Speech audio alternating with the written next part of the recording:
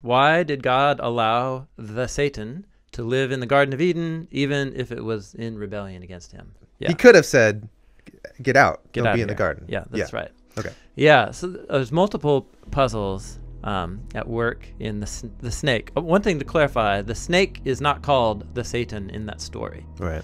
Um, that's a title that's going to come to be associated with this arch rebel, spiritual rebel, later on in the Hebrew Bible.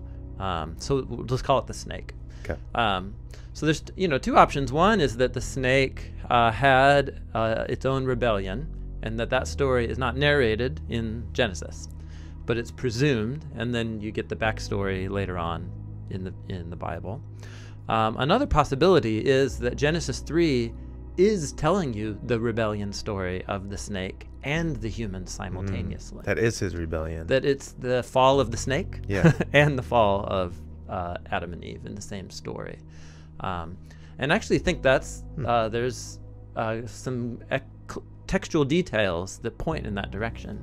For example, the snake is um, introduced as the beast of the field, and it's arum in Hebrew. Crafty. Well, it gets translated crafty, but if you do a word search on arum in the Hebrew Bible, it's like under 10 other occurrences, and it's always a positive trait of being um, smart and sh- shrewd, is sometimes perceptive. Yeah.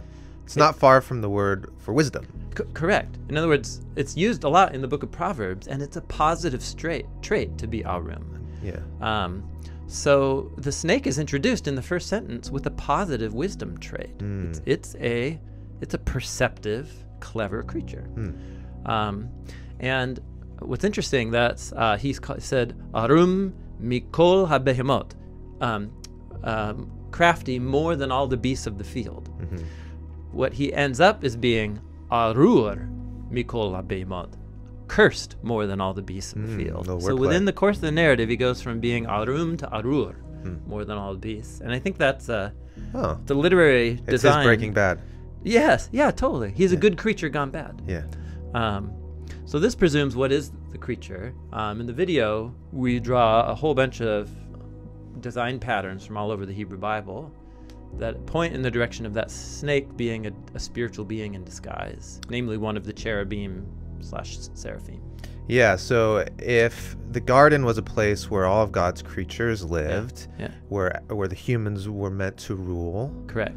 um, then it wouldn't be strange to have Hmm. One of the cleverest Yeah. creatures there. all the creatures are there. Yeah, yeah, the cherubim are there. We, Cher- meet, we yeah, meet them at the end of mhm. chapter three. We know their So garden Adam and Eve are hanging out with with creatures with with heavenly creatures that surround the divine throne and earthly creatures. and earthly creatures. That's the picture you get. Heavenly creatures, earthly creatures, overlapping, God's space, our space together.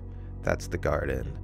So so from that perspective, God isn't like, I know this guy's trouble, but I'm to let him in. yeah. It's like, Yeah. no, he's just part of God's good Yeah, creation. and, and, uh, and so this is key because sometimes the the Satan figure um, is talked about as if he is essential evil and ha- has always been so. Oh, okay. So the story portrays him as a fallen creature, just like the humans are going to be fallen creatures. Yeah. He's a rebel, um, just like um, human beings are rebels.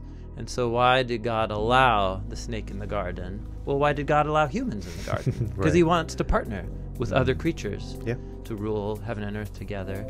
And we're given a story of a twin rebellion s- of a spiritual being and a